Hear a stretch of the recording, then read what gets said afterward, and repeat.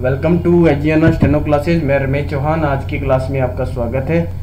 आज हमारे lesson number 17 और 18 का हम अभ्यास करेंगे। तो सबसे पहले आप देख रहे हो ऊपर कहाँ। तो कहाँ में पहले क रहा है तो कै हम सबसे पहले लाइट बनाएँगे। क। ये थोड़ा सा डार्क है, इसे हम थोड़ा सा लाइट कर लेते हैं। तो ये देखिए, यहाँ पर हम कै बनाएँगे। क। कै के साथ है को ऐसे मोड़ देंगे। ये बड़ा सर्किल जो होता है, वो है पड़ा जाता है, इससे बड़ा स्व होता है और इससे छोटा स होता है। तो अभी हम है वाला कर रहे हैं, ये है पड़ा जाता है। तो ये कहाँ? पर ये लाइन से टच नहीं होगा, ऊपर ही आएगा। ये हो जाएगा, यहाँ, इस तरह से बनाओगे, वहाँ, और इस तरह से बनाओगे जय को ऊपर से नीचे लेके आओगे, और ये हो जाएगा, जहाँ। तो ज़्यादा बार नहीं निकालना, बस ये थोड़ा सा इस तरह से निकालना, जहाँ। तो ऊपर रखना है, लेकिन लाइन से थोड़ा सा बाहर निकाल देना है। बाकी इसकी पीडीएफ में आपको भेज दूँगा, वैसे आपको बनाना है। तो ये तय के साथ है लगेगा, तहाँ और इसके बाद आता है, ये नीचे जो दिया बाद तो आपको पता है कि बै जो होता है वो डार्क होता है तो सबसे पहले बै को हम ऊपर से नीचे लेके आएँगे और इसको ऊपर रखेंगे, इसको पढ़ेंगे बाद। जैसे इसको ऑन द लाइन टच कर देंगे, ये पढ़ा जाएगा, बड़ा, बड़े, बड़ी, तीनों ही पढ़ जाएँगे। और ये जैसे ही लाइन से काट देंगे, ये पढ़ा जाएगा बहुत और बुरा। और ये क्या है इधर? बात तो जैसे हम बैक को ऊपर लेके आएँगे, ऊपर से नीचे, और इसके साथ थोड़ा सा इधर मोड़ देंगे इसे। तो ये क्या होगा? द बाद पढ़ा जाएगा। ये टैग का हुक होता है, वो हम बाद में करेंगे।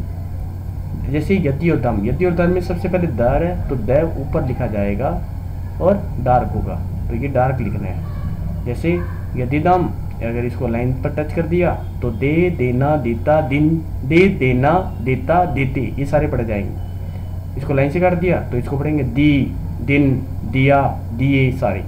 तो दान में द के साथ न जो है वो अंदर इन साइड मोड़ दिया जाएगा। अब जो सीधी रेखाएँ हैं, उसमें ये तय पढ़ा जाता है और वक्र रेखाएँ हैं, उसमें ये न पढ़ा जाता है। तो ये दोनों में डिफरेंस है। तो गय को हम ऊपर लिखेंगे इसे डार्क में, ये क्या पढ़ा जाएगा? आगे, और इसके साथ पढ़ा जाएगा आएगे, आगे, आएँगे, आओगे। तीनों इसी में पढ़ा जाएँगे। जैसे इसको नीचे लिखेंगे, ये पढ़ा जाएगा, गया, गए, गई। और ये ग लगा हुआ है। ग के साथ हम ऊपर लिखेंगे, ये ग बन गया। अब इसके साथ हमें यह लगाना है। तो यह एक तो पूरा होता है, एक हम ऐसे लगा सकते हैं। तो जैसे इसको लिखोगे ना तो ऐसे पढ़ा जाएगा। गाय गा। फिर यह गाय ये सही आउटलाइन है। गा। फिर यह गाय ये डार्क में बनेगा, ठीक है? जैसे चाय पाए। खाए। ऐसे। तो ये जिसके पीछे भी लग गया, वो यह पढ़ा जाता है। अब है आपके पास यहाँ अतः है अति। तो अतः में तय लाइट है, अतः है अति ऊपर लिखा जाएगा, भांति तो लाइन पर आएगा, अत्यंत इत्यादि लाइन से कर जाएगा। इसी तरह पै पै जो होता है वो लाइट होता है, और ये ऊपर रखेंगे तो पै पड़ा जाएगा, और लाइन पर टच करेंगे तो पहले, पहला, पहले, लाइन से कटेंगे, यद्यपि और पीछे, साथ में पड़ा जाएगा। अब ये साथ। अभी मैंने बताया था कि छोटा सर्किल जो है वो सह पड़ा जाता है, ये वाला। अगर ये सह शुरू में आ रहा है तो शुरू में लगेगा। जैसे स स के साथ मैंने थ ऐसे मोड़ दिया और ये डैश लगा दिया सात। इसी तरह साथ में मैं डैश लगा के ऐसे कौन और कुछ का सिंबल लास्ट में जोड़ देता हूँ, जैसे ये बोला तो ये किसी के भी अंत में जुड़ जाता है तो ई पड़ा जाता है। ई का साउंड देता है, ये पड़ा जाएगा साथी। इसी तरह, जैसे मान लो ये प है, ये हमने सिंबल किया था एक। मैं आपको रिवाइज कर देता हूँ, ये ये मुझे पड़ा जाता है। अगर ये किसी के पहले जुड़ गया तो पै पी और पी पढ़ा जाएगा। अगर शुरू में जुड़ता है तो जैसे प प के साथ स जुड़ दिया, ये पढ़ा जाएगा पैसा। इसको अगर लाइन पर टच कर दिया, ये पढ़ा जाएगा पेशा। और अगर इसको लाइन से काट दिया, ये पढ़ा जाएगा पशु।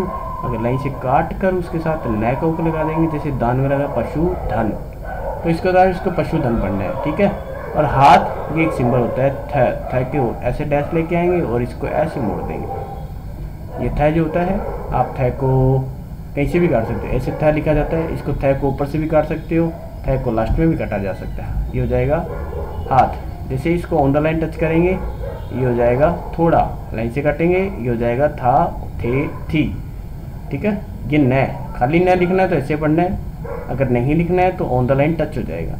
अगर नहीं है एक साथ आता है तो वो ऐसे लिखा जाएगा, नहीं है नहीं है नहीं है। बाकी मैं आपको पीडीएफ सेंड कर रहा हूँ। उसमें अच्छी से आउटलाइन आप देख लेना, किस प्रकार से बनी हुई है। वो आपको अच्छी तरह से समझ आ जाएगी। आज की क्लास में इतना ही।